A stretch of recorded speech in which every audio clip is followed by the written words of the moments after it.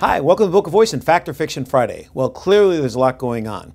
As Governor Rick Scott suspended the mayor, Susan Haynie, from her seat as mayor of Boca Raton, the deputy mayor, Scott Singer, is now appointed mayor of Boca Raton. Now the challenge is who are they going to appoint to sit as a city council member as we appoint as we wait to have a special election. Now that special election for that seat will happen actually on August 28th. The other question is whether or not they will hold a special election on August 28th for the mayor of Boca Raton, or they will hold that election on November the 6th. Now, this is a very crucial thing. We all know that everybody is not back from um, up north. We have a lot of people that will not be in town on August 28th yet. So clearly, we have a lot to discuss in the chambers of City Hall of whether or not we should vote on August 28th or November 6th. I, for one, would like to see us wait for that election for mayor till November the 6th. I think it's right for our town. I think it's right for Boca Raton. I think it's right for the residents. Too often, we have to wait for absentee ballots and people that are not well informed. I think it's too quick to have a very quick election on August 28th.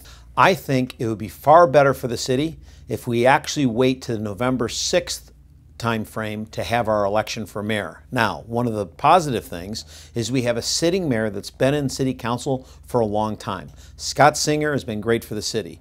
He is a people's mayor. He definitely takes a lot of time for anybody that wants to reach out to him. He has town hall meetings. He's very engaged in the city. He's very engaged with the citizens. He's making sure that all of us have access to him, and he has the best interest in the city at heart. So I think we could definitely have somebody in place that's a good steward of both the city and resources, and we can certainly take advantage of having someone like Scott sitting in City Hall so there's no hurry to have an election. That also gives us time to have the majority of the residents that aren't here, that are here the majority of the year but aren't here during the summer, to be back in time to vote and have a full vote on November the 6th. I think that's a good thing. Now, who are they going to appoint to city council?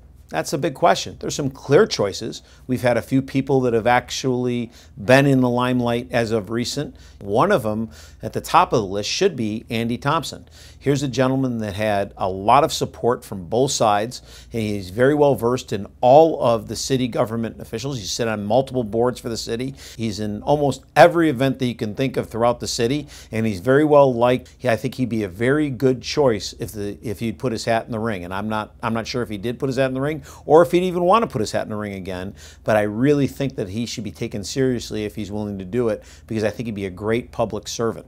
I think again we have a lot to talk about. There's a lot of things that the city has to look at moving forward as we make this transition. Clearly, our local government is something that we need to take very seriously, and I want you to take a very serious approach and look at. I'm interested in your opinion. What do you think we should be doing?